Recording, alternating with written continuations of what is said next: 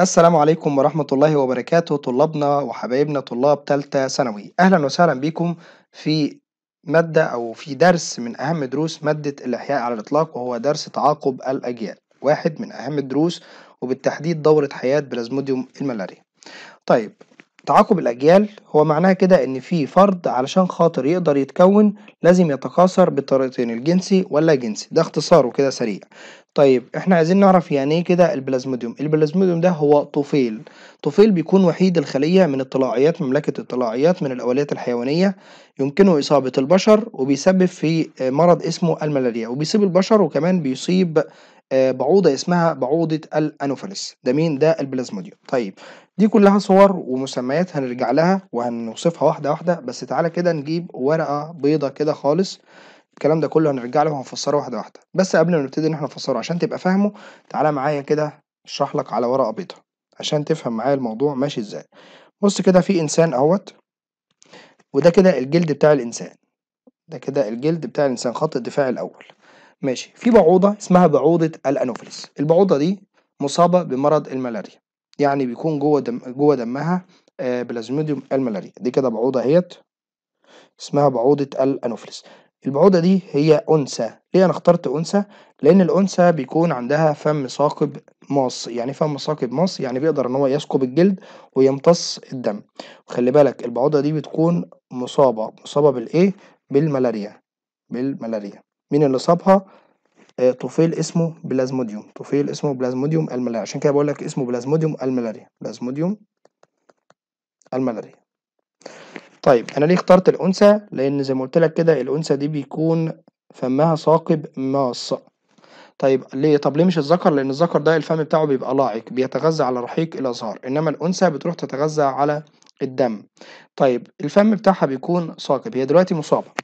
فرايحه تخترق جلد إنسان سليم خالص أهو مفيش أي مشكلة. طيب فهي بتخترق الجلد وتبتدي إن هي تمتص الدم. هي عارفة إن سبحان الله يعني ربنا خلق لها كده حاجة عارفة إن الدم بتاعنا ده كده هيتجلط. أنت كده كده طبيعي أي جرح لما لما يحصل جرح مثلا في أي وعاء دموي الجرح ده بي الدم بيتجلط فبيسد الجرح. هو نفس الفكرة هي لما تعمل لك جرح الجرح ده هيتجلط. فتبدأ تعمل إيه؟ تبدأ إن هي تطلق اللعاب بتاعها. ليه؟ لأن جوه اللعاب ربنا خلق لها مادة بتمنع تجلط الدم. خلي بالك هي بتطلق اللعاب بتاعها بغرض إيه؟ مش بغرض إنها تصيبك لأ هي بتطلق اللعاب بتاعها بغرض إن هي آه إن هي عايزة ما تجلطش الدم عشان خاطر تقدر تمتص الدم. تمام؟ طيب هي مصابة. طيب جوه اللعاب بتاعها بيكون حاجة اسمها سبيروزيتات سبورو زيتات. إيه سبيروزيتات دي؟ حاجة اسمها أطوار مغزليه الشكل. يعني إيه مغزليه الشكل؟ شبه حرشفه السمكة كده أو شبه ورقة الشجر. اهيت دي كده اسمها سبروزيتات السبروزيتات دي أطوار أطوار بلازموديوم يعني أحد الأطوار لبلازموديوم الملاريا. كلمة أطوار يعني أشكال. طيب يبقى هي دلوقتي في عندي أنثى بعوضة الانوفيلس مصابة. وأنا ليه اخترت الأنثى؟ لأن الفم بتاعها بيكون ثاقب ماص بيقدر إن هو يثقب ويمتص الدم. طب هي لما تيجي تثقب الوعاء الدموي الوعاء الدموي هيتجلط فهي تيجي حاطة اللعاب بتاعها لأن اللعاب ده بيحتوي على مادة بتمنع التجلط. طب هي مصابة؟ طالما مصابة يبقى اللعاب بتاعها بيحتوي على حاجة اسمها سبيروزيتات. إيه هي السبيروزيتات؟ هي أحد أطوار بلازموديوم الملاريا. طب اسمها سبيروزيتات هعرفها إزاي؟ بشكلها بتلاحظ إن هي مغزليه الشكل شبه ورقة الشجرة شبه حرشفه السمه السمكة شبه الحرشفه بتاعة العين كده. طيب بعد كده تبدأ السبيروزيتات ده اهي تنتقل إلى الدم بتروح لدم الإنسان. ماشي. بس لو هي فضلت ماشية في الدم لو هي فضلت ماشية في الدم الجهاز المناعي بتاع الإنسان ده هيحس وهيبدأ إن هو يهاجم الاسبريتات على اعتبار إن هي أجسام غريبة. طيب الاسبريتات دي ذكية. تبدأ إنها تروح تستخبى في مكان آمن جدا جدا جدا. مين المكان ده؟ هو الكبد. طب ليه اختارت الكبد؟ لأن الكبد يحتوي على الكبد لا يحتوي على خلايا عصبية حسية يعني مش بيشتكي. يعني لو تم إصابته مش هيبدأ مش هيحسسك بألم. عشان كده معظم أمراض الكبد بيتم اكتشافها صدفة فيروس سي والأمراض دي كلها بيتم اكتشافها صدفة. فهي رايحة المكان يكون آمن. ليه؟ لأن بيكون عددها قليل. طيب هي الغرض إن هي تعمل إيه؟ تعمل أو تكتر من عددها فتبتدي إنها تدخل إلى داخل خلايا الكبد. دي كده مثلا خلية هيت من خلايا الكبد. هنبدأ نرسمها كده بره شوية. خلية من خلايا الكبد. ماشي. تبدأ تهاجم خلية من خلايا الكبد وتتكاثر جواها. عايزة تتكاثر عشان خاطر تزود العدد. يبقى الغرض من التكاثر يبقى هتعمل تكاثر. تكاثر إيه؟ لا جنسي. لا جنسي بالإيه؟ بالتقطع. طب الغرض منه إيه؟ الغرض منه كثرة العدد. عايزة تقوى تكتر من عددها. فتبتدي إنها تهاجم مين؟ تهاجم الخلايا. دي كده خلية أهيت. تبتدي إنها تهاجمها. هي تهاجمها. وتبدأ إنها تتكاثر جواها. لما تتكاثر جواها بتكون لي طور جديد. مثلا دي كده كمان خلية أهيت.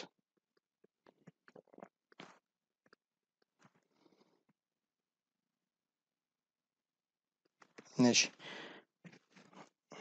ده شكل خلايا الكبد ودي المراحل اللي بتمر بيها. دي كده مرحلة. بعد كده يبدأ إنها تتكاثر بالتقطع. لما تتكاثر بالتقطع بتكون لي طور جديد اسمه طور كده جديد اسمه بيكون مدور اسمه ميروزيتات أهي. تكون لي حاجة اسمها ميروزويتات الميروزيتات ده تلف كمان دورة تلف كمان مرة. يبقى كده أنا عندي الاسبروزيتات دي بتقضي كام دورة في الكبد؟ بتقضي دورتين. دورتين إزاي؟ أول دورة هي دخلت بتتكاثر لا جنسي بالتقطع. علشان تكون لي حاجة اسمها ميروزيتات. ماشي. كونت الميروزيتات. الميروزيتات عددها كتير بس لسه مش كفاية برضو. نتقل كمان مرة ونلف كمان دورة.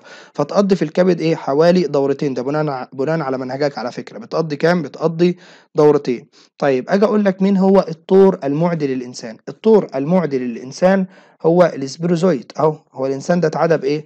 اتعدى بالاسبيروزويد طيب مين هو الطور المعدي للكبد في اول مرة كانت الاسبيروزويد برضو طيب أجي أقول لك بقى مين هو الطور المعدي للكبد في المرة الثانية لا في المرة الثانية هتقول لي أنا كونت الميروزويد في المرة الأولى والميروزويد هو اللي هيهاجم الكبد في المرة الثانية فيبقى الطور المعدي للكبد في المرة الأولى اسبروزويد لكن الطور المعدي للكبد في المرة الثانية هو الميروزويد طب قضت قد إيه في الكبد؟ قضت دورتين. ماشي. بعد الدورتين بتبتدي إنها تروح تهاجم. بقى معايا ميروزيت. الميروزيت على فكرة بتكون مدورة. هي كروية أو مدورة. لكن السبيروزيت بتكون حرشفيه مغزليه شكلها بيكون حرشفي أو مغزلي تبدأ بعد كده الميروزيت لما تقضي دورتين بالتكاثر اللاجنسي بالتقطع يعني تبدأ إنها تهاجم كرات الدم الحمراء. دي كده هي كرات الدم الإيه؟ الحمراء. ماشي. فلما تدخل جوه كرات الدم الحمراء تبدأ تعمل تكاثر برضه لا جنسي بالتقطع. اهي الميروزيت يبدأ إن هو يدخل فيتكاثر لا جنسي بالتقطع برضه. فبتقضي عدة دورات. اهي تبدأ تنفجر كرات الدم الحمراء وتخرج لي ميروزويت زائد مواد سامة. المواد السامة دي بتسبب لي الأعراض. أعراض مين؟ أعراض حمى الملاريا. أعراض حمى الملاريا. طيب تبدأ الميروزيت لما يتكون يبدأ يلف كمان دورة بس مش عدد الدورات بقى هنا في كرات الدم الحمراء بتبقى متعددة يعني عدة دورات. يبقى في الكبد كان معايا كام؟ دورتين لكن في كرات الدم الحمراء كان عدة دورات. تقعد الميروزيتات الميروزيتات تتكاثر لا جنسي بالتقطع هي عدة دورات لا جنسي بالتقطع. عدة دورات لا جنسي بالتقطع. طب الغرض إيه؟ كثرة العدد. طيب هي بتقضي كم مرة؟ الدورة الواحدة بتقضي كم كام يوم جوه كرات الدم الحمراء؟ بتقضي يومين. بعد يومين تنفجر كرات الدم الحمراء. أهي تنفجر كرات الدم الحمراء بعد يومين.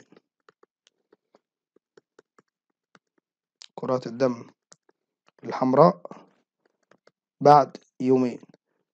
بعد يومين تظهر مين؟ تظهر أعراض حمى الملاريا اللي هي ارتفاع درجة الحرارة السخونية يعني تمام؟ والرعشة والعرق الغزير اللي بيصاحبه ارتفاع في هرمون ال ADH طيب يبقى تنفجر كرات الدم الحمراء بعد قد إيه؟ بعد يومين. طب هي بتقضي كام دورة؟ في كرات الدم الحمراء بتقضي عدة دورات. طب مين هو الطور المعدي أصلا لكرات الدم الحمراء؟ الميروزيتات. يعني اللي بيعدي كرات الدم الحمراء هي الميروزيتات. بتقضي فيها كام دورة؟ بتقضي فيها عدة دورات. بتتكاثر فيها جنسي ولا لا جنسي لا جنسي بالإيه؟ بالتقطع.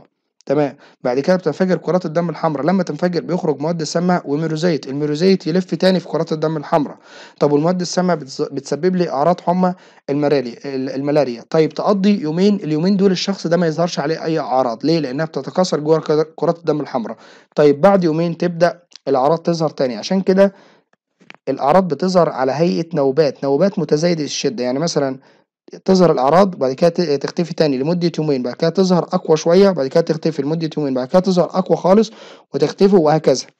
طب أنت لو جيت في مرة من المرات لاحظت مثلا الأعراض أهيت وعمالة بتقل بتقل كده يبقى الشخص ده يا إما مناعته قوية يا إما بي يا إما بياخد علاج يا إما مناعته قوية يا إما مثلا بياخد علاج. إنما متزايدة يبقى كده يبقى كده الشخص ده عدد الميروزيتات عمال بيزيد وبالتالي بيهاجم عدد كبير من كرات الدم الحمراء. طيب لو قلت لك مثلا شخص مصاب مثلا لمدة عشر أيام لمدة عشر أيام. كم نوبة هتظهر له؟ يبقى كده عشرة على الاتنين لأن أنا عندي النوبات بتظهر أو المرض الأعراض يعني عامة بتظهر كل يومين. يبقى عشر أيام كل يومين هتظهر نوبة يبقى يظهر خمس نوبات. خمس نوبات من أعراض الملاريا. طب لو قلت لك مثلا الأسبوع الأسبوع ده بيظ- بيظهر فيه كام نوبة؟ الأسبوع يبقى سبعة أيام يبقى سبعة على الاتنين فيها تلاتة ونص. طبعا مش هس- مش هتحسب النص فهيبقى فيها تلات إيه؟ تلات نوبات فقط. طيب تقعد تنقسم عدة مرات. أو عدة دورات داخل خلايا الدم الحمراء لحد ما في مرة من المرات تبدأ إن هي تقرر إنها تأمن مستقبلها ومستقبل أولادها. ده الكلام ده مين؟ ده الكلام ده الميروزيت. فالميروزيت يقول لك أنا عايز أبدأ إن أنا أطور من نفسي. يطور من نفسه ويطور من شكله فبيكون لي حاجة اسمها أطوار مشيجية. الأطوار المشيجية دهيت بتكون غير ناضجة أو يبدأ يكون لي أطوار مشيجية. الأطوار المشيجية دي بتكون غير ناضجة. يعني إيه غير ناضجة؟ يعني مفيش منها ذكر وأنثى هي أطوار بس مشيجية طيب الأطوار المشيجية دي لما اتكونت من الميروزويت هو حصل انقسام ميوزي ولا ميتوزي؟ ولا ده ولا ده. أمال حصل إيه؟ حصل تحور شكلي تحور في شكل الخلية بس مش أكتر عشان يكون لي أطوار مشيجية غير ناضجة. طيب لما اتكونت الأطوار المشيجية الغير ناضجة فضلت في مين؟ فضلت في دم الإنسان. لحد ما تيجي بعوضة تانية دي كده بعوضة هي التانية تبدأ إن هي تاخد دم من دم الإنسان ده من دم الإنسان المصاب. طب وهي بتاخد بتاخد الأطوار المشيجية طيب الأطوار المشيجية تبدأ تدخل في تجويف تجويف معدة البعوضة لما تدخل في تجويف معدة البعوضة بيكون عندي أطوار دي كده الأطوار الإيه؟ المشيجية اهيت الأطوار المشيجية بيحصل لها نضج. هي اتكونت في دم الإنسان بس حصل لها نضج. يبقى حصل نضج الأطوار المش... المشيجية الأطوار المشيجية حصل فين؟ في تجويف معدة البعوضة. طيب بدأ يبقى عندي مشيج مذكر ومشيج مؤنث. ده كده مشيج مؤنث اهيت اللي هي البويضة كبيرة في الحجم وغير متحركة ومشيج مؤنث صغير في الحجم بيكون عنده زوائد أو نتوءات عديدة. يبقى ده كده مشيج مذكر أهوت. وده كده مشيج مؤنث. ماشي. بيحتوي على حاجة اسمها زوائد عديدة عشان يقدر يتحرك. آه الاتنين بيتحدوا مع بعض ويبدأ إن هما يكونوا لي ده كده لاقحة. لاقحة. طيب طبعا أنا من الأول خالص ما قلتلكش على موضوع النون والاتنين نون والمجموعات الصبغية ودي خصوصا بيتكلم عليها. بص تعال نرجع تاني كده واحدة واحدة. في الأول كان معايا بعوضة مصابة. البعوضة دي مصابة بالملاريا. فاللعاب بتاعها بيحتوي على حاجة اسمها اسبيروزيتات الاسبيروزيتات ده اهي بيكون عددها الصبغي نون. وهنفهم هي ليه نون دلوقتي. تمام. يعني بتكون أحادية المجموعة الصبغية. يبقى كده الطور المعدي للإنسان هيكون مين؟ الاسبيروزيتات ماشي. الاسبيروزيتات ده لو فضلت في الدم الجهاز المناعي هيهاجمها وهيموتها. طيب تبدأ تروح لفين؟ تروح للكبد. فتدخل خلايا الكبد وتقضي في الكبد كام دورة؟ بتقضي دورتين. بتتكاثر فيهم جنسي ولا لا جنسي؟ لا بتتكاثر لا جنسي. بالإيه؟ بالتقطع. طيب في أول دورة بتتكاثر لا جنسي بالتقطع فبتكون لي حاجة اسمها الميروزيتات. لا جنسي يعني كده انقسام ميتوزي. يبقى كده انقسام إيه؟ ميتوزي. طب طالما انقسام ميتوزي الاسبيروزيتات عددها نون فتكون لي ميروزيتات عددها نون. ماشي. فالميروزيتات الميروزيتات تبدأ تهاجم الكبد في الدورة التانية. ما قلت لك بتقضي دورتين. فيهاجم الكبد في الدورة التانية. لما يهاجم الكبد في الدورة التانية تتكاثر برضو مرة كمان لا جنسي بالتقطع. طب الغرض إيه؟ كثرة العدد. فلما بكون عدد كبير من الميروزيتات أبدأ أروح أهاجم مين؟ أهاجم كرات الدم الحمراء. مين اللي بيهاجم كرات الدم الحمراء؟ الميروزيتات اللي عددها الصبغي نو يعني احادية المجموعة الصبغية. طيب بتروح تهاجم كرات الدم الحمراء. فلما أجي أقول لك مين هو الطول المعدي لكرات الدم الحمراء هتقول لي الميروزيتات عددها الصبغي نو بتقضي فيها كام دورة؟ عدة دورات. عدة دورات. الدورة بتاخد قد إيه؟ بتاخد يومين. طب بعد يومين بتبدأ إنها تتكاثر لا جنسي بالتقطع خلال اليومين يعني مش بعد اليومين. خلال اليومين بتتكاثر عدة مرات آه بالتكاثر لا جنسي بالتقطع يعني انقسام ميتوزي. تمام. لحد ما ما ما عددها يزيد فتتفجر كرات الدم الحمراء. لما كرات الدم الحمراء بتتفجر بتطلع لي بتطلع لي ميروزيتات نون برضو ومواد سامة. المواد السامة دي بتسبب لي ظهور أعراض حمى الملاريا. طيب هي بتتفجر كل قد إيه؟ كل يومين. علشان كده الأعراض بتظهر لي كل يومين. وبالتالي مثلا لو الأعراض دي ظهرت ست مرات على شخص يبقى تا- هتاخد كام يوم؟ هتاخد 12 يوم. لو مثلا 10 أيام هيظهر فيهم كام مرة الأعراض هيظهروا؟ طبعا 10 على اتنين يبقى خمس. مرات. طيب الميروزيتات دي بيكون ليها قدامها طريق من اتنين. عشان كده لما أجي أقول لك مين هي الأطوار اللي قدامها مسار من اتنين هي الميروزيتات يا إما إن هي ترجع تصيب كرات الدم الحمراء تاني يا إما إن هي تتحور في الشكل بتاعها وتكون لي أطوار مشيجية غير ناضجة. يعني ما فيهاش لا ذكر آه، لا مشيج مذكر ولا مشيج مؤنث. والسؤال ده كويس واتكرر في معظم الكتب. بيقول لك مين هي الأطوار اللي بيكون ليها أكتر من مسارين؟ مين؟ الميروزيت ممكن يروح يهاجم كرات الدم الحمراء تاني وممكن يكون أطوار مشيجية. طب الأطوار المشيجيه دي بتكون ناتجة من انقسام ميوزي ولا من انقسام ميتوزي قلت لك ولا ده ولا ده. أمال عبارة عن إيه؟ عبارة عن تحور شكلي في الخلية. تحور شكلي في الخلية. طيب بعد كده تيجي بعوضة سليمة. تمص الدم بتاع الإنسان ده فتاخد أطوار مشيجية فلما أقول لك مين هو الطور المعدي للبعوضة الطور المعدي للبعوضة هي الأطوار المشيجية الناضجة ولا الغير ناضجة؟ لا الغير ناضجة. طيب فتاخد الدم بعد كده ويدخل إلى تجويف معدة البعوضة. فيحصل نضج الأطوار المشيجية فأجي أسألك وأقول لك هي الأطوار المشيجية اتكونت فين؟ فتقول لي في دم الإنسان. طب نضجت فين؟ نضجت في تجويف معدة البعوضة نضجت ليه؟ لمشيج مذكر اللي هو آه، بيحتوي على زوائد عديدة ومشيج مؤنث بيكون كبير في الحجم. الاتنين بيندمجوا بيندمجوا مع بعض ويكونوا لي لاقحة. يكونوا لي إيه؟ لقاحة اللقاحة دهيت ما بتقدرش إنها تتحمل عصارة ال- عصارة المعدة لأن المعدة بتفرز لي عصارة بيكون فيها ال HCl وكمان إنزيمات الكلام ده كله هيبدأ إن هو يحلل اللقاحة فبسرعة بسرعة اللقاحة دهيت تتحول إلى حاجة اسمها طور حركي. الطور الحركي ده بيتحول أو بيتكون نتيجة انقسام ميوزي ولا ميتوزي ولا ده ولا ده. إنما ده عبارة عن إيه؟ عبارة عن تحور شكلي. نفس الفكرة بتاعت الأطوار المشيجية تحور شكلي غير ناتج من انقسام ولا ميوزي ولا ميتوزي. طيب اللقاحة بتكون كام نون؟ بتكون اتنين نون. ليه؟ لأن المشيج اللي اتكون ده نون والمشيج اللي اتكون ده نون. فلما أجي أقول لك مين الأمشاج اللي بتتكون من انقسام ميتوزي؟ الأمشاج دي فعلا اتكونت من انقسام ميتوزي. إزاي؟ هي أصلا جاية من الميروزيت والميروزيت ده اتكون من الاسبروزيت والاسبروزيت عشان يكون لي الميروزيت حصل تكاثر لا جنسي يعني انقسام ميتوزي. فتبقى دي اسمها أمشاج ناتجة من انقسام ميتوزي. أهي. أمشاج ناتجة من انقسام ميتوزي. بالمناسبة في سؤال هنا حلو كويس قوي. بيقول لك مثلا لو في بعوضة آه لو في بعوضة سليمة راحت تاخد دم شخص مصاب بس الشخص ده عنده ميروزيت فقط هي إيه اللي هيحصل؟ هي بتاخد كده كده الميروزيت. الميروزيت ده لما بيدخل جوه الميروزيتات يعني لما بتدخل جوه بتتحلل. ليه بتتحلل؟ لأنها ما تقدرش تقاوم ال- العصارة المعدية. ما تقدرش تقاوم العصارة المعدية. إنما الأطوار المشاجية هي أصلا متحورة علشان خاطر تقدر تقاوم الأطوار المشاجية وبالتالي لو في بعوضة راحت تاخد دم شخص مصاب الشخص ده عنده ميروزيت وما عندوش أطوار مشاجية البعوضة مش هتصاب. ليه؟ لأن الميروزيت اللي هي هتاخدها أو الميروزيت اللي هو اللي هيدخل جوه تجويف معدة معدة البعوضة هيتحلل. يبقى خلي بالنا إنما اللي بيصيب الطور المعدي لبعوضة آه للبعوض لأنثى بعوضة الأنوفيلس بيكون الأطوار المشيجية. طيب تدخل الأطوار المشيجية وتنضج إلى أطوار آه، لمشيج مذكر ومشيج مؤنث، المشيج المذكر بي عنده زو... بيكون عنده زوائد عادية. طيب هي ال HCl اللي هي العصارة بتاعة ال- المعدة ما تقدرش تأثر على الأطوار المشيجية؟ لا ما تأثرش على الأطوار المشيجية، لكن بتأثر على اللقاحة وبتأثر على الطور الحركي، يبقى تكون معايا طور حركي اتنين نون أهوت، ده طور حركي بيكون برضو اتنين نون وده كده الطور الحركي يجري بسرعة عشان خاطر يخترق جدار المعدة. ده كده جدار المعدة أهوت. يجري بسرعة عشان يخترق جدار الإيه؟ المعدة. طيب وهو بيخترق جدار المعدة بينقسم انقسام ميوزي ليه بينقسم انقسام ميوزي علشان يكون لي حاجة اسمها كيس البيض.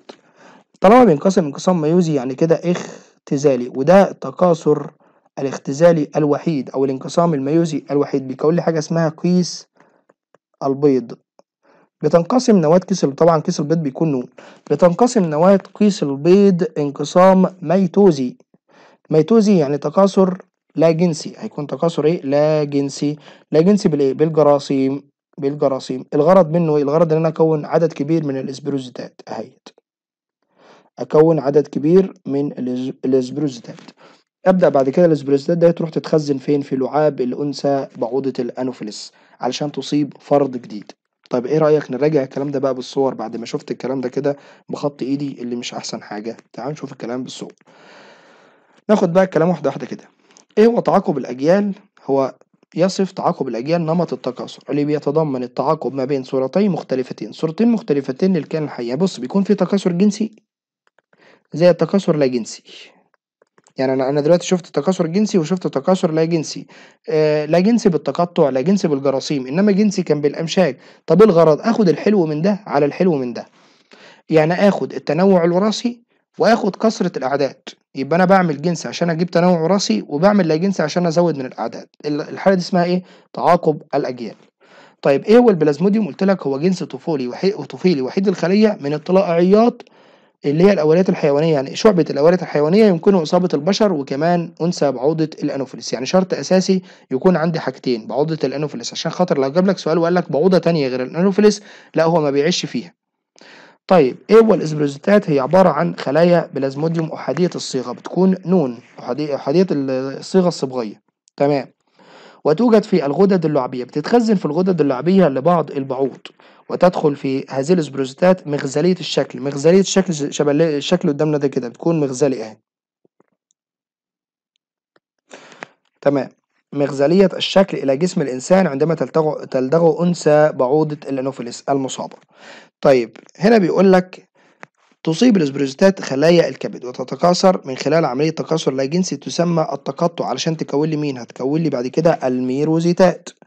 طب الميروزيتات هي أحادية الصيغة الصبغية يعني بتكون نون وعادة ما تطلق الميروزيتات كل 48 ساعة يعني بتكون كل يومين وتنتشر لتصيب خلايا الدم الحمراء وهناك يزداد عدد الميروزيتات بسرعة وخلال هذه الفترة يعاني الإنسان اللي هو المضيف يعني أو الوسيط من أعراض الملاريا مثل الحمى والقشعريرة والتعرق وهقول لك عليهم دلوقتي. طيب بص هنا كده أدي الميروزيتات اهي بتبتدي إنها تهاجم كرات الدم الحمراء تتكاثر جوه التقطع تمام فتبدأ إنها تكون لي الميروزيتات تنفجر فتخرج لي مواد سامة فتسبب لي ظهور الأعراض. طيب تتميز بعض الميروزيتات إلى خلايا مشيجية أحادية الصيغة الصبغية وبتكون غير ناضجة خاصة بمرحلة التكاثر الجنسي. لسه بقى هقول لك على مرحلة التكاثر الجنسي ده بيكون جوه بقى البعوضة نفسها. مما يعني وجود كل من الخلايا المشيجية الأنثوية الكبيرة والذكرية الصغيرة. في خلايا الدم الحمراء المسابقة. المعلومة دي يعني هي جت كده مش مش أكيدة. لا المعلومة دي نستبعدها الحتة دي مش مش عليك دلوقتي. طيب تنمو الخلايا المشيجية الموجودة في الدماء في الدم يعني الخلايا المشيجية التي امتصتها البعوضة. أيوة من هنا إلى إمشاج أو جاميطات ذكرية بالظبط دي الصح بقى بتاعها. بتكون لي جاميطات ذكرية وأنثوية ناضجة من خلال عملية تسمى تكوين الجاميطات. ماشي. تقوم الخلايا المشيجية الصغيرة اللي هي الذكرية بتلقيح الخلايا المشيجية المشيجية الذكرية اللي بتكون الذكرية الصغيرة اهيت ودي البويضة الكبيرة. دي بيكون عندها زوائد ديت متعددة عشان تتحرك وتروح تعمل تلقيح للبويضة. طيب ينقسم بيكون لي طبعا بيكون لي في النهاية زيجوت اتنين نون ينقسم الزيجوت عددا من المرات ويتغير شكله ويتحول إلى الطور الحركي؟ اللي اسمه ليه اسم تاني اسمه ookinete. ookinete. كلمة kinete يعني حركي. فتبقى ookinete يعني الطور الحركي. طور حركي اللي بيتحول فيها بعد كده إلى كيس البيض اسمه oocyst oocyst إنما دي اسمها ookinete الطور الحركي ookinete وكيس البيض اسمه oocyst طيب عبر معدة البعوضة أثناء حركته عبر معدة البعوضة طيب تؤدي عملية تكاثر الطفيل داخل كيس البيض إلى تكوين آلاف من السبيروزيتات طبعًا يبقى ده أصلًا تكاثر بالجراثيم أهوّة، الغرض منه إن أنا باكوّن عدد كتير من الإسبيروزيتات. يتمزق كيس البيض وينتقل الإسبيروزيتات وتص وتصيب الغدد اللعابية للبعوضة وتبقى هناك حتى تتغذى البعوضة من جديد وتصيب إنسان آخر. بُص كده أهوّة ال ookinete اللي هو الطور الحركي أهوّة، تمام؟ ده كده شكل الطور الحركي. بيعدّي جدار المعدة فبيكوّن لي كيس بيض، الطور الحركي ده بيكون 2 نون، كيس البيض ده بيكون نون بس، يبقى الانقسام ده انقسام ميوزي. فيبدأ يكوّن لي الميروزيتات، أهيّة الميروزيتات تروح للعاب البعوضة لعاب البعوضة لمّا تبدأ إنها تصيب الشخص ده الميروزيتات دي اسمها سبيروزيتات مش ميروزيتات. سبيروزيتات اللي هي مغزلية الشكل. طيب بُص بقى الفرق ما بين أنثى بعوضة الأنوفيلس وذكر بعوضة الأنوفيلس، الأنثى بتكون بيكون لها فم ثاقب، يعني بيثقب الجلد، وكمان بيكون مَص بيمتص الجلد، إنما ده بيكون فم لاعق، لاعق بيتغذى على إيه؟ بيتغذى على رحيق الأزهار، إنما دي بتتغذى على إيه؟ بتتغذى على دم الإنسان. أهوّة أدي الفم الثاق الثاقب أهوّة ناقص. ده كده شكل طبعًا ال الدورة، ظاهرة تعاقب الأجيال، بُص كده بيقول لك هنا تنتقل أدي الإسبيروزيتات إلى الغدد اللعابية، دي كده بتنتقل للغدد اللعابية بعد كده تخترق الإسبيروزيتات خلية الكبد أهي. تمام تدخل خلية الكبد فب آآ تمزق الشيزونيت، الشيزونيت اللي هي الميروزيتات يعني، ده كده شيزونيت ناضج، شيزونيت ناضج يعني ميروزيتات ناضجة، بعد كده هتبدأ إن هي يحصل تمزق لكرات الدم الحمرا فتبدأ إنها تخرّج الميروزيتات، دي كده تقضّي بقى عدة دورات داخل خلايا الدم الحمراء. تمام. خلال عدة دورات، الدورات دي الدورة الواحدة بتقضّي 48 ساعة يعني يومين.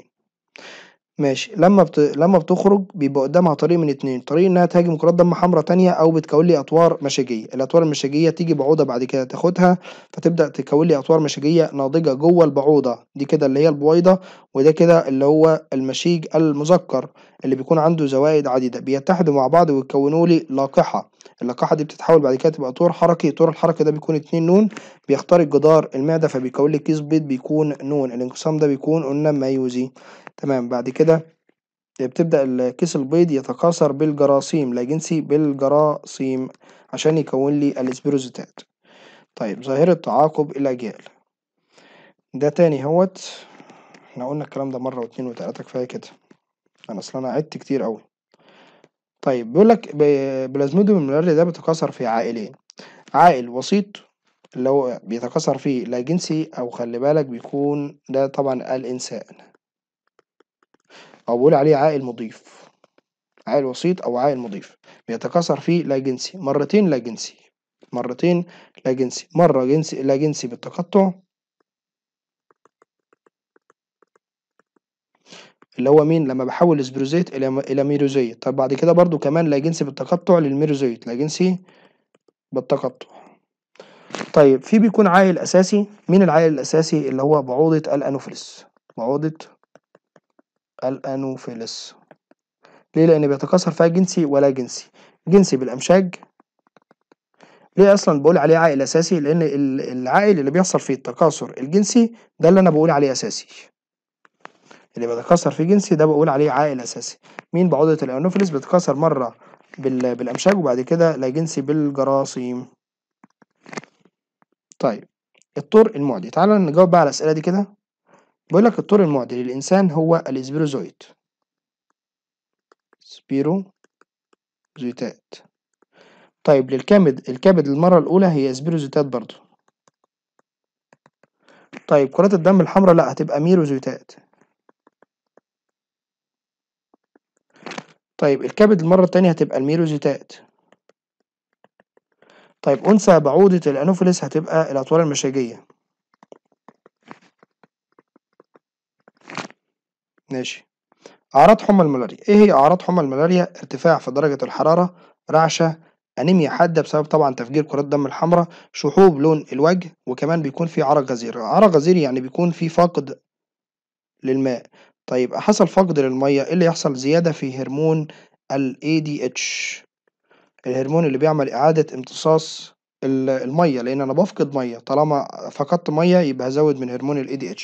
قد يصاب الإنسان بالإغماء وتظهر الأعراض على هيئة نوبات كل يومين ورسمناها أهيّة بُص بقى بتظهر نوبة وتعدّي يومين بعد كده نوبة تانية أشد وتعدّي يومين بعد كده نوبة تالتة أشد وهكذا. طيب أحد أطوار بلازموديوم يسير في مسارين ده بيكون الميروزويت. ميروزويت ممكن يصيب كرات الدم الحمراء أو ممكن يكون لي أطوار مشيجية. الأطوار المشيجية أو اسمها الجاميتوسيتات ال gametocytes أو جاميتوسايتات. الجاميتوسايتات بتتكون فين؟ بتتكون في دم الإنسان تمام؟ وبتنضج في تجويف معدة البعوضة. تجويف معدة البعوضة. طيب متى تنتهي فترة حضانة المرض؟ عند ظهور الأعراض. عند ظهور الأعراض. لأول مرة. يعني بص هو أنا عندي السبيروزيت لما بيبدأ يدخل بيروح على خلايا الكبد. يقضي مرتين في الكبد تكاثر لا جنسي بالتقطع. أهو. أول بعوضة مصابة. ماشي. تروح للكبد. فيبقى أول شخص مصاب. تقعد في الكبد دورتين. ماشي. بعد كده يروح عدة دورات في خلايا الدم الحمراء. أول ما تتفجر من كرات الدم الحمراء الفترة دي كلها اسمها فترة الحضانة. يبقى فترة الحضانة لحد ما يبدأ يصيب الإنسان. يفضل قاعد ساكت خلال الفترة دي كلها أول ما يصيب الإنسان يبقى كده انتهت فترة الحضانة بتاعة المرض ده. يبقى خلاص هو نضج. نضج وقدر إن هو يصيب الإنسان. يبقى متى تنتهي فترة حضانة المرض؟ عند ظهور الأعراض لأول مرة. يعني باختصار كده عند تفجير كرات الدم الحمراء عند تفجير كرات الدم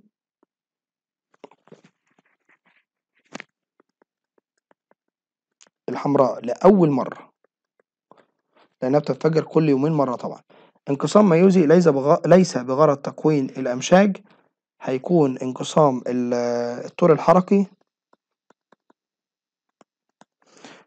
الطور الحركي ده بيكون لي كيس البيض. طبعا الطور الحركي بيكون اتنين نون وكيس البيض ده بيكون نون يبقى الانقسام ده بيكون ميوزي طب أنا هنا كونت امشاج لأ. يبقى ده انقسام ميوزي ليس بغرض تكوين الامشاج طيب أطوار تتكون بالتحول الخلوي دون أي انقسام. تحول خلوي دون انقسام عندي الأطوار المشيجية اللي بتتكون من الميروزيتات أطوار مشيجية. وكمان عندي الطور الحركي. الطور الحركي بيتكون من مين؟ بيتكون من اللاقحة. ماذا يحدث للميروزيتات التي تنتقل من دم المريض إلى أنثى بعوضة الأنوفيلس تتحلل تتحلل بفعل العصارة العصارة المعدية.